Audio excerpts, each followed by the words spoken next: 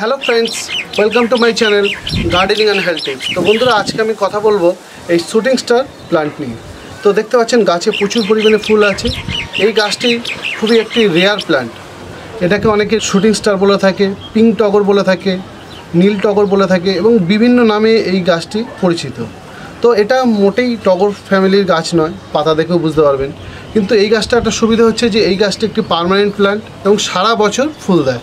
যারা সারা বছর বাড়িতে ফুল পছন্দ করে, তারা এই গাছটি বাড়িতে অবশ্যই লাগাতে পারেন। এই গাছটা একটু সুবিধা হচ্ছে যে এই গাছে খুব মেনটেন করতে হয় না, খুব বেশি সার ব্যবহার করতে হয় না। তাছাড়াও এই গাছে প্রচুর পরিমাণে আপনারা ফুল দেখতে পাবেন। এবং সারা বছরই কম বেশি ফুল দিয়ে থাকে। কিন্তু এই গাছে ফুল মোটামুটি বেশি পাওয়া যায় বর্ষার পর থেকে। কিন্তু দেখতে পাচ্ছেন এখনও প্রচুর ফুল হয়ে আছে এবং নিচে কিছু পড়েও গেছে। তো এই শীতের পর থেকে এই গাছে ফুল বাড়তে শুরু করে। যদি বৃষ্টি হয় এবং বৃষ্টির জল পায়, এই গাছে কিন্তু ফুল ভরে যায়। এই দু একদিন ধরে এখানে বৃষ্টি হচ্ছে এবং বৃষ্টি পড়ার পরে কিন্তু আরও ফুল ভরে গেছে। এবং এই গাছে সব থেকে বেশি ফুল পাওয়া যায় বর্ষার শেষের দিকে। মানে বর্ষার জল খাওয়ার পরে আস্তে আস্তে গাছটি ডেভেলপ করে এবং বর্ষার শেষে প্রচুর পরিমাণে ফুল দেয়। এবং বাকি টাইমেও এই গাছে প্রচুর পরিমাণে আমরা ফুল পেয়ে থাকি। এটি একটি পার্মানেন্ট প্লান্ট কারণ এটা রেয়ার প্লান্ট হিসেবে আপনারা কনসিডার করতে পারেন। কারণ কি? ফুল গাছটি আপনারা সব নার্সারিতে খুব সহজেই পাবেন না। তো এই গাছটিকে আমরা রেয়ার প্লান্ট বলতে পারি। তো বন্ধুরা, আপনারা যেই গাছটি দেখছেন, এটি একটি আট ইঞ্চি টবে আছে। মাটির টবে রাখলে যে কোনো গাছ ভালো, বা আপনারা এই গাছটি প্লাস্টিকের টবে রাখতে পারেন, কিন্তু মাটির টবে সবসময় ভালো হবে। এটা একটি আট ইঞ্চি টব। আপনারা দেখতে পাচ্ছেন, খুব বড় টব এই গাছের জন্য। দরকার পড়ে না। ছোট টব হলেই যথেষ্ট। এবং দেখতে পাচ্ছেন গাছের গ্রোথটাও খুব ভালোই হয় এবং সঙ্গে সঙ্গে এই গাছে প্রচুর পরিমাণে ফুল পাওয়া যায়। একটু যদি যত্ন করা যায়, গাছে এইরকম ফুল সারা বছর আপনারা পেয়ে থাকবেন। তো অবশ্যই মাটির টব বাঁচার চেষ্টা করবেন। মাটির টব না হলে প্লাস্টিক টবেও কোনো অসুবিধা নেই। এবার আসছি এই গাছের মাটি তৈরি।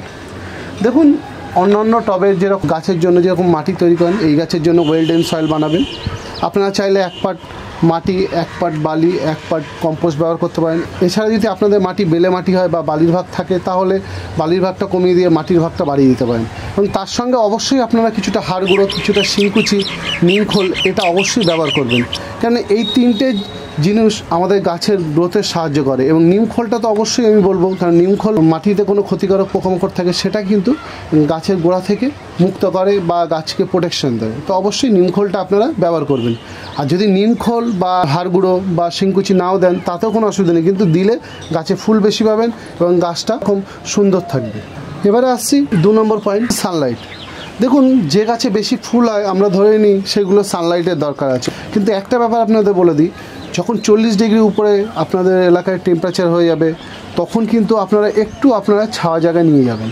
বা যেখানে তিন থেকে চার ঘণ্টা সকালে রোদ্দুর আসছে, এরকম জায়গায় রাখবেন। কেননা ফুল সানলাইটে থাকলে পাতা একটু হলুদ হয়ে যেতে পারে। তো আপনারা দেখতে পাচ্ছেন এত পরিমাণে ফুল আছে, আর ফুল সানলাইট পেলে তাহলে কিন্তু অনেক সময় গাছে ফুলগুলো ঝরে যেতে পারে। এটা একটু আপনারা মাথায় রাখবেন। তো বন্ধুরা, এবারে আসছি জল। তো এই গাছে অন্যান্য গাছের মতনই এই গাছে জল লাগে, কিন্তু এই গাছের মাটি একদম শুকাতে দেবেন না। খুব বেশি শুকিয়ে গেলে কিন্তু এই ফুলগুলো পড়ে যাবে। তো এর জন্য এই গাছের মাটি একটু ময়েস রাখতে হবে। এবং আবার ময়েস রাখতে গিয়ে আপনারা কাদা কাদা করে ফেলবেন না, তাতে কী হবে? গাছের গোড়ায় জল জমে শিকড়ে ড্যামেজ হতে পারে বা পচন ধরতে পারে।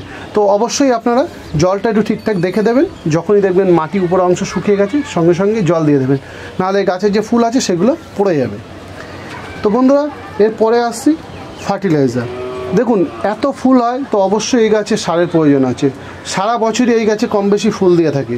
তো অবশ্যই আমরা এই গাছে প্রত্যেক মাসে একবার করে সার ব্যবহার করব। আপনাদের বলে দিই, এখানে যে আমি মিশ্র সার তৈরি করে রেখেছি, এই সারটাও আমি এই গাছে ব্যবহার করে থাকি এবং ঘুরিয়ে ফিরিয়ে অন্যান্য অর্গানিক সারও এই গাছে ব্যবহার করে থাকি। কেমিক্যাল সার আমি এই গাছে ব্যবহার করি না। তো বন্ধুরা, শুধু আপনারা এই মিশ্র সার সারা বছর এই গাছে ব্যবহার করেও কিন্তু এই গাছে প্রচুর পরিমাণে ফুল পেতে পারেন। মিশ্র সার বানানো একটি অলরেডি ভিডিও করে রেখেছি, তার লিঙ্ক আমি ডিসক্রিপশানে দিয়ে দেবো এবং সঙ্গে আমি পারলে আই বাটনে দিয়ে দেবো। তো বন্ধুরা, এই যে যে কোনো অর্গানিক সার এই গাছে আপনি দিতে পারেন। যদি অর্গানিক সার না দেন, তাহলে ইকুয়াল রেশিও এনপিকে এছাড়া আপনারা কিছুটা ডিএপি এই গাছে ব্যবহার করতে পারেন। তাহলে কিন্তু প্রচুর পরিমাণে ফুল পাবেন। কেমিক্যাল সারও আপনারা মাসে একবার ব্যবহার করবেন, কিন্তু পরিমাণে একটু কম ব্যবহার করবেন। কেমিক্যাল সার যদি বেশি ব্যবহার হয়ে যায়, গাছের এই যে কালার আছে চেঞ্জ যেতে পারে। এছাড়া ফুল আসতে বাধা দিতে পারে। তো সবসময় মোটামুটি পরিমাণে কম ডিএপি যদি দেন, আট, দশটা দানা দেবেন এবং এনপিকে যে ইকুয়াল রেশিও আছে, সেটা আপনারা গাছে স্প্রে করতে পারেন। এরপর আসছি পেস্টিসাইড এই গাছে সাধারণত কোনো রকম পোকামাকড় আক্রমণ এখনও পর্যন্ত হয়নি। কিন্তু আমি যখনই অন্য গাছে নিম তেল স্প্রে করি, এই গাছে স্প্রে করে থাকি, তো এখনও পর্যন্ত আমি কোনো সময় এই গাছে পোকামাকড়ে আক্রমণ দেখিনি।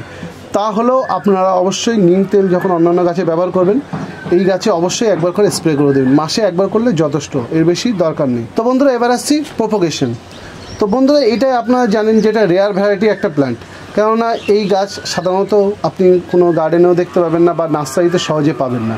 তো এর জন্য যদি আপনারা প্রপোকেশন করে যদি নতুন গাছ করেন, তাহলে খুব ভালো হয়। তো একটু পুরনো ডাল দিয়ে আপনারা যেভাবে কলম করে ওইভাবে করতে পারেন, এছাড়া কাটিং থেকেও এই গাছ তৈরি করতে পারেন। এখনও পর্যন্ত আমি একটা গাছ কাটিং থেকে তৈরি করেছি, অল্প একটু শিকড় হয়েছিল। শিকড় হওয়ার পরে আমি নজর দিতে পারিনি। তো শিকড়টা থেকে গাছটি শুকিয়ে গেছিল মানে জলে দিয়ে রেখেছিলাম। জলটা পড়ে গিয়ে গাছটি শুকিয়ে নষ্ট হয়ে গেছে। আমি আবার নেক্সট টাইম ট্রাই করব এবং আপনাদের করে সেটা দেখাবো। তো বন্ধুরা, এই যে গাছটি আছে, খুবই একটি রেয়ার প্ল্যান্ট সারা বছর ফুল দেয়। অবশ্যই আপনারা আপনার গার্ডেনে অ্যাড করুন। আপনার গার্ডেনের শোভা বাড়াবে। তো বন্ধুরা, আজকে আমি শুটিং স্টার নিয়ে যে তথ্যগুলো দিলাম, আশা করি আপনাদের খুবই ভালো লেগেছে। আর ভালো লাগলে অবশ্যই আপনারা আমার ভিডিওটাকে লাইক আর শেয়ার করবেন।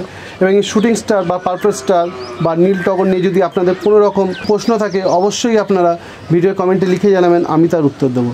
তো বন্ধুরা, আজকের ভিডিও আমি এখানেই শেষ করলাম। সবাই ভালো থাকবেন, সুস্থ থাকবেন। ধন্যবাদ।